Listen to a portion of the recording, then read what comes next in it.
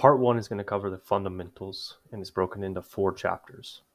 Chapter one is all about getting familiar with RStudio. It's going to cover the source, the console, the environment, and files panes inside of RStudio, and then some basic customization options. Chapter two is going to cover programming basics specific to R. Uh, this is going to cover some basic programming principles such as functions, comments, and loops. Chapter three is going to cover data types.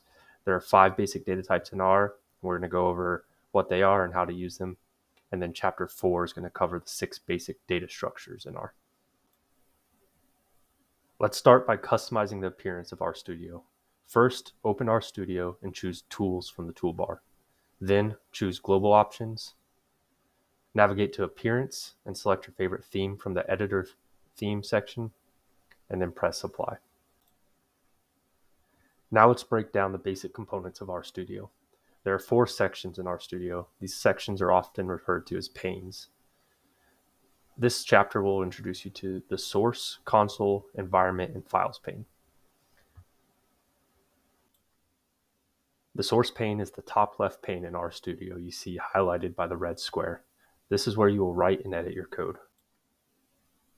If you don't see the source pane, you may need to create a new R script by selecting R script from the new file dropdown in the top left corner.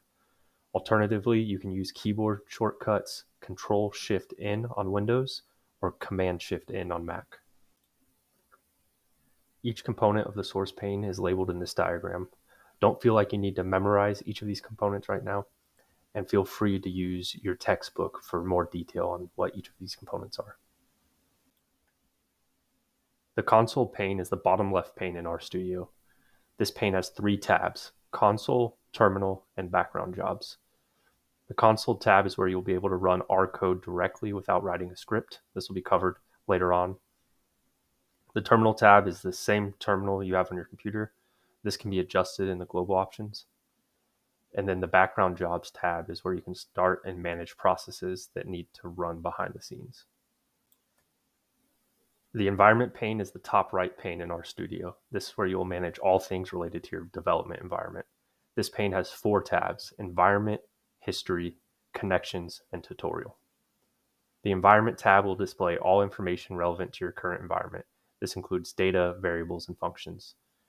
This is also the place where you can view and manage your memory usage as well as your workspace. The History tab allows you to view the history of your executed code. You can search through these commands and even select and re-execute them. The Connections tab is where you can create and manage connections to databases. And finally, the Tutorial tab delivers tutorials powered by the learnr package. The Files pane is the bottom right pane in RStudio. This pane has six tabs, Files, Plots, Packages, Help, Viewer, and Presentation. The Files tab is a file explorer of sorts. You can view the contents of a directory, navigate to new directories, and manage files here. The Plots tab is where the output of your generated plots will show up. You can also export your plots from this tab. The Packages tab allows you to view all available packages within your environment.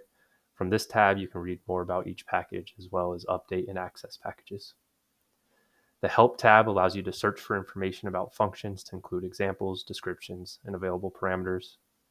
The Viewer tab is where certain types of content, such as Quarto documents, will be displayed when rendered. And the Presentation tab is similar to the Viewer tab, except the content type will be presentations.